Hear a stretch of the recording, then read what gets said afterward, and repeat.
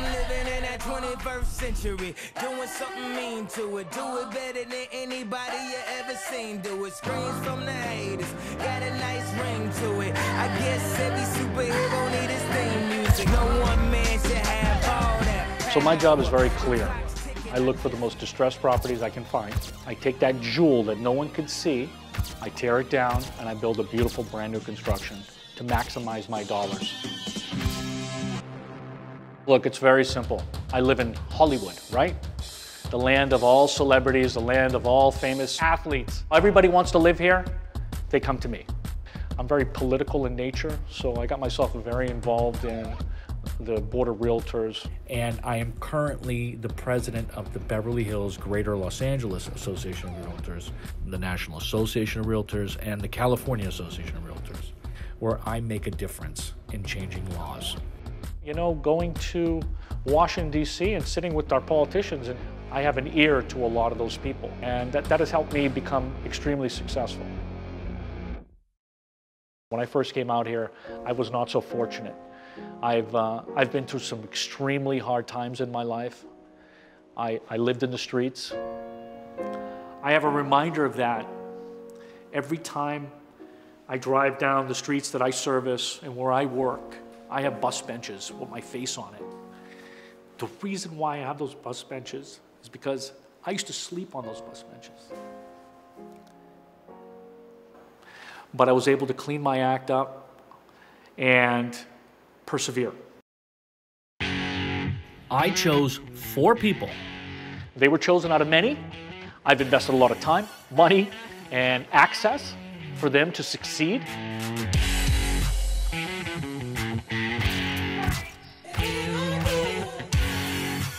Doesn't work like this. This is costing thousands of dollars a day. Do you understand that? I am so proud of you. Bring it over here. Give me some give me some love.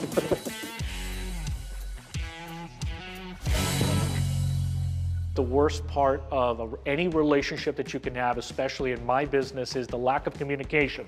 The most uncomfortable position is always asking for someone's help. That's what I found to be very difficult for me. And I believe for most individuals, that is the same answer. They need to come out of their comfort zone to become successful. It's no different in what we're doing here today. This project is one of the toughest we have because of the bedrock. If it's not managed properly, it can end up costing a fortune and killing our profits. And the way you see the project right now was exactly the way it looked two weeks ago. And that's the problem I have right now.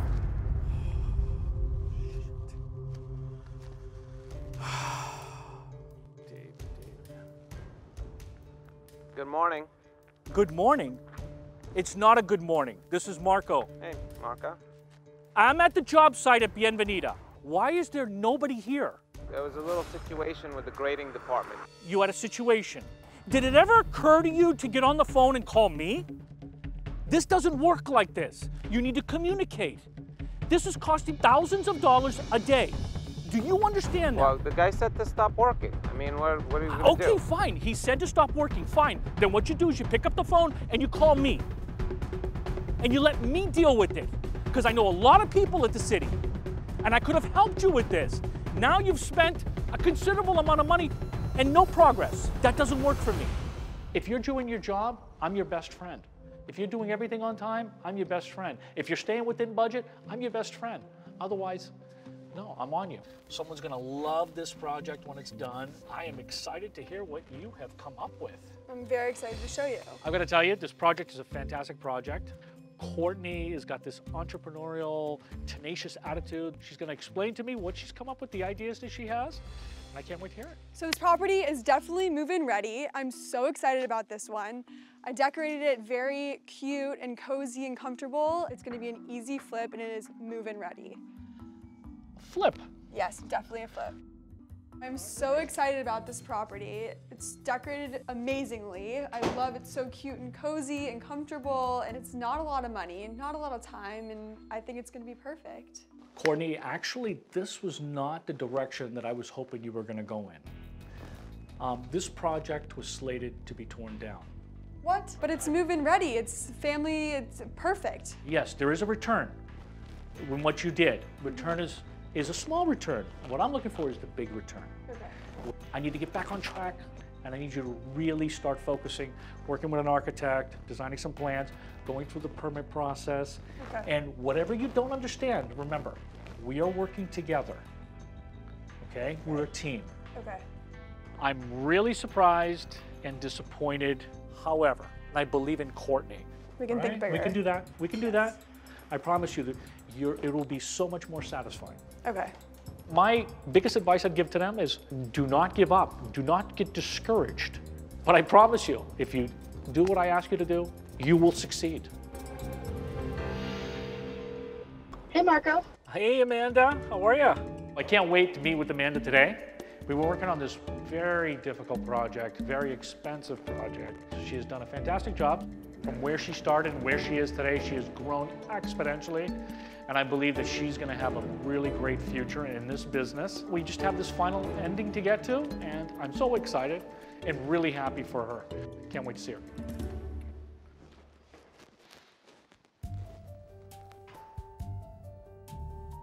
Look at this place. Didn't it turn out so great? Yeah, the house is great, Amanda, but where's the staging? I'm working on it. I made a few calls. I'm getting a few quotes. Someone should be in by Monday. That's not going to work, Amanda. That's not going to work. I need this on the market for Sunday's open. You got to make some calls. You got to you, you got to have the urgency. Listen, we're at the finish line. This is the hardest part to get everything at the end and get it all together and sold. Yes. So you need to work really hard right now. No matter what you need to do, you need to get the stagers in here and need to be completed by Saturday so Sunday we can have an open house. I was a little disappointed because the property wasn't staged yet. Uh, but the one good thing about Amanda is she's shown that she can get things done. And at this particular stage, I believe that she will get over the finish line. I'm going to be on the market Sunday, open to the public for sale. How can I help you? If I need anything, I will definitely let you know. Okay, We're on the same page. all right, show me the rest of the house. What it comes down to is the knowledge that you have as a broker or a salesperson that makes you successful in real estate. It's not uh, just putting up a sign on the front property, it's the conversations you have. It's the enticement that you're able to translate from the product to the consumer and make them happy and bring them together. So project 830 Lockman, we were deciding if we were going to tear the whole thing down, start from scratch, or if we were just going to do it as a remodel. So just realize that and make sure that these beams are not being held up. I'm having my new team member meet me here today because what I've allowed for him to do is work with the architect to see where he could accentuate and or find any issues with the plans. So our objective is to go over that and talk about um, accentuating the view. Because it's all about this, right? I mean, look at this view. Wow. This is going to sell the property. This is a million dollar view. But what I want to talk to you about is I want to talk to you about the plans. Yeah, let's take a look. Okay, so these are the uh, revised plans. Based on what we talked about earlier, we went ahead and we moved the master bedroom, obviously. I was just really thinking about, you know, it, and not so much the house as a home, all right, and what you really want here. And one, the master bedroom is like, right, you want that view.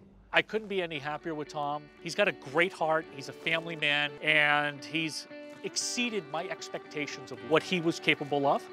And I'm extremely proud of him. You know, I got, I gotta, I gotta be honest with you.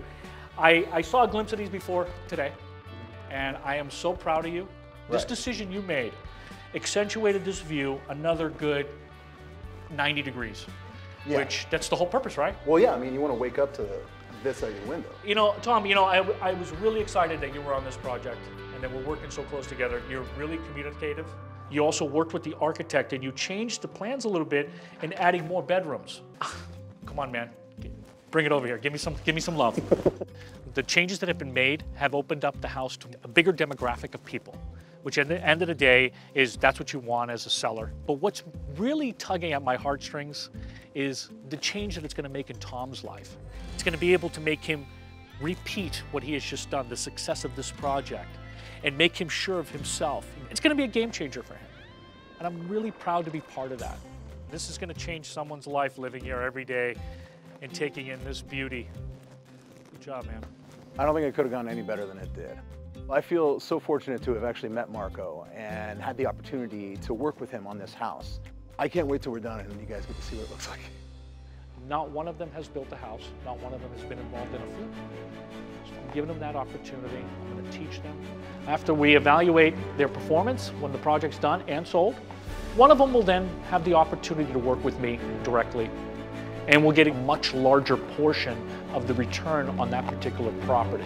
I want them to continue in their entrepreneurial uh, ways in succeeding so that eventually they can do it on their own.